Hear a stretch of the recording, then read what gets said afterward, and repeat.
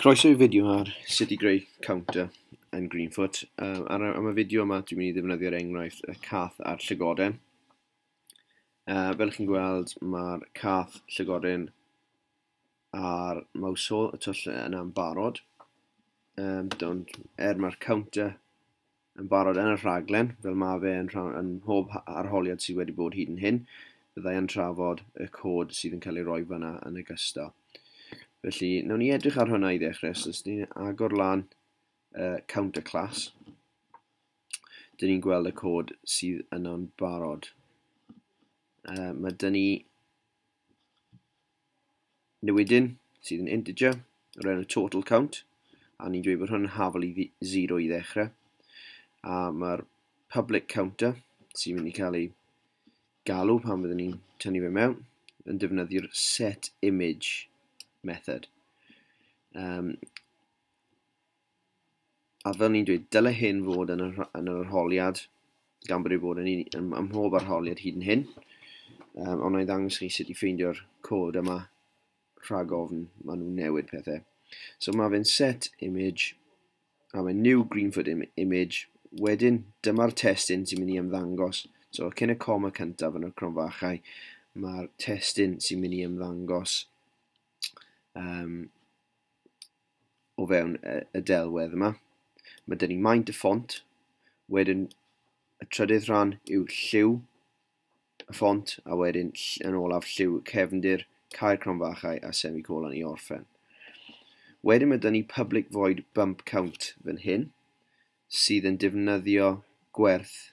A pan mae'r gwerth yn cael ei basio fe, trwy cron, yn y cronfachau, beth mae hyn yn neud yw cymryd y gwerth hynny, so nes ymlaen byddwn ni'n uh, rhoi gwerth 1 pan mae'r cath yn cyffwrdd y llygoden, gwerth 1 i'r bump count, a wedyn beth mae hyn yn neud fan hyn yw roi y rhif 1 yna sy'n cael ei basio draw mewn i newidyn um, o'r enw amount sydd yn integer.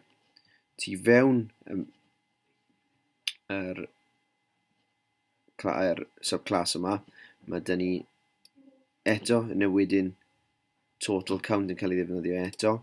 Plus equals yn golygu bod ni'n adio iddo fe, a be ni'n adio yw amount. Felly mae o nes ymlaen, pan dyn ni, mae'r cath yn cyffrodd ar llygoden, mi fyddwn ni'n pasio'r gwerth 1 i bump count. Mae bump count wedyn yn ychwanegu 1 yn dweud bod amount gwerth 1 a beth sy'n digwydd yn hyn yw mae'n adio 1 iddo fe. Mae'r image yn cael ei seto unwaith eto, union yr un cod fan hyn, yr unig gwahaniaeth uh, bydd yw bod ni'n cymryd bod, bod y text yn dim byd na a ni'n adio beth bynnag yw gwerth total count nawr. So mae'n cymryd beth oedd e ac yn adio un iddo fe pob tro. Okay, so dyna'r dyna'r countdown, da ni'n nôl at hynna nes ymlaen. Y peth cyntaf dwi eisiau gwneud yw i roi y counter yn y rhaglen. Okay, so fel welwch chi'n fanna, dwi'n dewis new counter a just roi i mewn a dyn ni'n gyfarwydd yn neud neu erbyn nawr. Reit, nawr bod y, y counter yna'n barod i fynd, allan ni fynd mewn i'r uh, world class o'r enw ground. A byddwch chi'n gweld yn y rhan private void prepare, dyma lle mae popeth yn cael ei osod. Felly ni'n gweld bod, bod dyn ni uh, counter class gyda newid ein counter wedi ychwanegu a mi fydd dweud bod hwnna'n newydd. Felly mae angen yr holl cod na a di'n ychwanegu'r gwrthrych yma. So ni'n creu'r gwrthrych a dyma'r newidyn okay, so dyma'r object sy'n cael ei greu dyma'r variable sydd yn cael ei pasio iddo fe. Iawn, so mae hwnna sy'n cynrychioli'r object hyn. Wedyn byd ni'n dweud yw add object counter. Iawn, a dyn ni'n dweud ble mae e, so mae fe lan y top, okay, so hwnna yw beth o'r top, okay, a faint o'r ochr yw, a dyna beth yw hwnna. Mae hwnna'n cael ei wneud yn automatic pan ydych chi'n gosod e mewn eich hun. Yr unig, a chi'n gweld bod y llygodyn yna, mae'r cath yna, y mouse hole hefyd i gyd yna, oherwydd mae hwnna'n rhaid yn cael ei pasio iddo fe yn gynt. Be ni angen wneud yw cymryd uh, counter, counter equals new counter. Torri yna allan, a ni'n mynd i gosod e lan fan hyn. Oherwydd mae rhaid i ni pasio gwerth i ddefnyddio nes ymlaen. Hyn, y rhan yma sy'n caniatau i i'r uh, cath a'r counter i gyfathrebu gyda'i gilydd, ar hyn o bryd maen nhw'n hollol ar wahân, felly dyn nhw ddim yn gallu siarad gyda'i gilydd. Yr unig ffordd allan nhw siarad gyda'i gilydd yw cysylltu a pasio gwerthoedd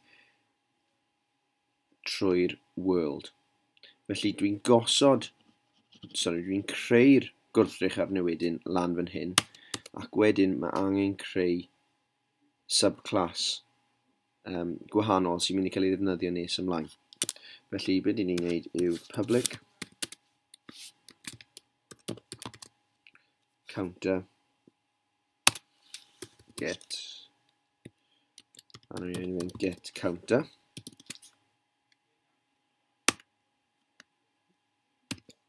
or curly brackets, cau curly brackets, a fan hyn ni jyst yn dweud return counter.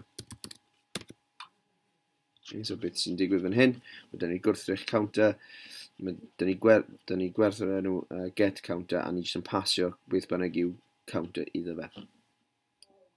Felly dyma mae angen sicrhau bod hyn yn ymddangos o fewn y world class mae yna rhywbeth i ddysgu. Dysgwch hwnna off top eich pen. I sicrhau, dyn ni symud y counter count equals new counter uwch ben uh, y private void uh, y cyntaf yma. Newch chi tu ar top. Ar unwaith mae'r mae ground wedi cael ei greu, newch chi syth o dan hynny so chi'n gofod lle ydych chi. Wedyn, mae angen dysgu'r cod yma i osod hwnna mewn. OK, mae'n dweud class compile, no syntax errors. Gwych, felly allwn ni cario ymlaen. Dyn ni nawr yn mynd i'r cath. Mae'r counter yn barod, mae'r ground yn barod i, i gysylltu y ddau gyda'i gilydd nawr. Felly, allwn ni fynd lawr. Yn barod, mae'r rhaglen dwi'n gweithio arno wedi defnyddio'r if is touching mouse.class lle mae'n cael gwared o'r llygoden Mae'n chwarae'r sain. Nawr dwi angen ychwanegu'r cod iddo fe um, cael y counter i weithio pan maen nhw'n cyffwrdd. Felly dyma'r cod. Dyn ni'n enwi'r byd, so the world, ground.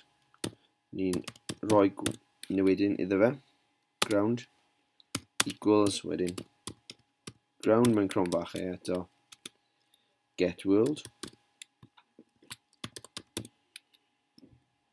sesiwn fach a'i semicolon. Reit, ni'n sylwi bod yna llinell y dan hynny, reswm yw, mae rhaid i hwnna'n fod yn prif lythyren oherwydd mae hwnna'n enwi'r byd a mae hwnna'n prif lythyren. Reit, so beth sy'n digwydd yn hyn, dyn ni mwy lai yn jyst yn cysylltu gyda'r world ground fan hyn a dyn ni'n rhoi gwerth iddo fe i ddefnyddio nes ymlaen. So dyna'r object, dyna'r dyna variable, ac okay, ni'n dweud get the world ground, okay? Felly, ni'n gallu wedyn symud ymlaen. Cam nesaf yw, dyn ni'n mynd i gysylltu gyda'r get counter yna dyn ni'n newydd creu o fewn y world ground. So mae'r ground, world ground yn cael ei mae'r cath nawr yn gallu cysylltu ni'n ymgyrchol gyda'r gyda world ground fan hyn. Dyn ni wedyn yn mynd i dweud counter, counter equals ground sy'n cynrychioli'r gwrthrych i'r uh, gwrthrych uh, byd.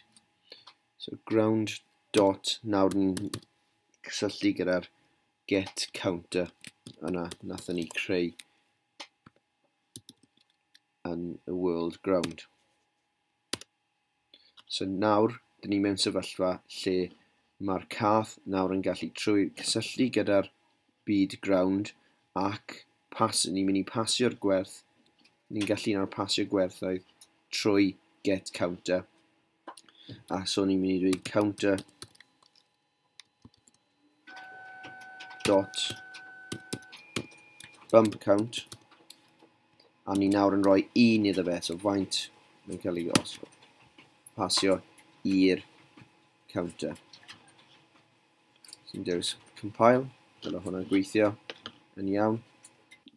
Ok so beth sy'n digwydd nawr? Mae dyn ni O fewn y counter, mae dyn ni, mae'r total count fan hyn yn haflu 0 i ddechrau.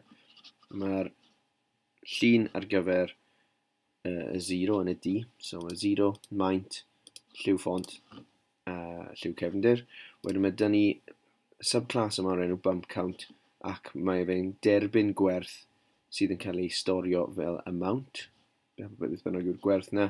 Total count wedyn yw bydd, yw, bydd mae'n cael ei, mae amount beth bynnag sy'n cael ei basio yn cael ei adio i total count.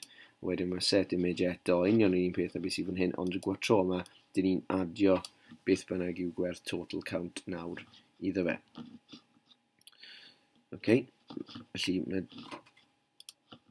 wedyn, yn y, yn y world ground, mae dyn ni, nath ni cymryd y cod counter count equals new counter allan o'r prepare fan hyn. Dyma'r subclass oedd angen ychwanegu o'r enw get counter. Okay. Um, sydd yn cysylltu gyda'r gyda object counter. So dyma'r link yn cael ei wneud. Okay? Nw ydyn ni counter, mae rhaid i hwnna cael ei enwi yr un peth a'r clas yn hyn. Mae get counter yn gallu cael ei enwi'n unrhyw beth dych chi moyn, dim ond bod, a wedyn, sorry, sorry mae dyn ni uh, gwerth counter yn cael ei basio i hwnna. Um, fel wedys i, oedd hwnna'n gallu cael ei enwi... Sorry, un anghywir.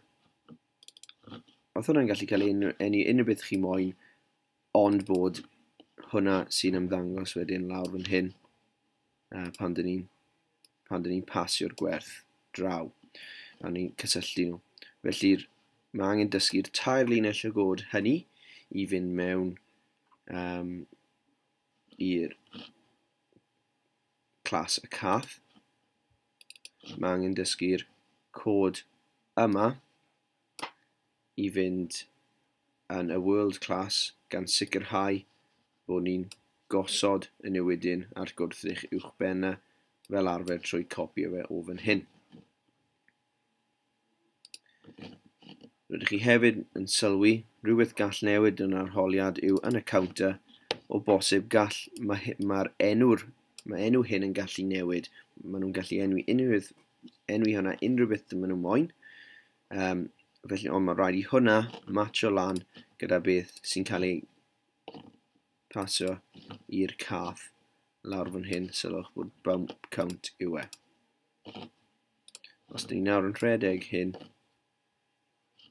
rafi be allowed tipyn bach gan fod y gym yn eitha cyflym. Ok, os ni'n mynd lan, ni'n gweld bod y sgôr yn cynnyddu. Gobeithio bod hwnna'n helpu. Diolch yn fawr.